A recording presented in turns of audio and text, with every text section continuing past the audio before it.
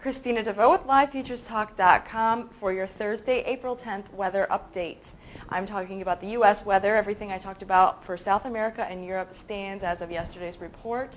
But the U.S. is very interesting right now. A vigorous and dangerous spring storm system will track from the nation's heartland to the Great Lakes by early Saturday, sweeping a strong cold front eastward toward the Appalachians. Ahead of the cold front, severe thunderstorms will gradually shift from the Kansas and central southern Mississippi areas and shift towards the central and southern Mississippi Valley to the southern Great Lakes, Ohio Valley, Tennessee Valley, uh, northern Gulf Coast states, southern Appalachians, and Georgia over the next 30 hours. Damaging winds, gusts, and the main threat and the main threat is damaging winds and gusts, and hail and several tornadoes are also likely, so watch out for the severe weather. Heavy rains are causing widespread flooding throughout the central and southern Mississippi valleys.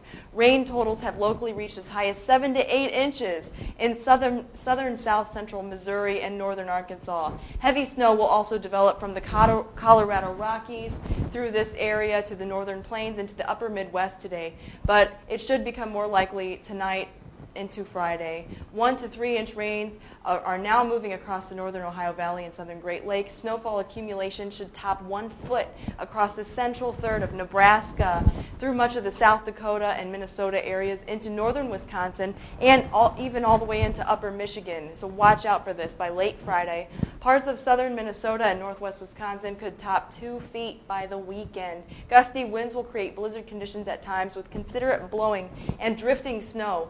This storm is producing immaculate gusty winds from the Four Corners states into the western Great Lakes, lower Ohio, Tennessee, River Valley areas, and in the northern Gulf Coast states. Winds are gusting occasionally to between 60 and 65 miles an hour across the eastern New Mexico and western Texas area. So watch out for this se severe weather. There's going to be no planting going on during this time. It's just wreaking havoc on the nation's midsection. So watch out for that. This has been your Thursday, April 10th weather update with Christina DeVoe from LiveFuturesTalk.com. We'll see you tomorrow.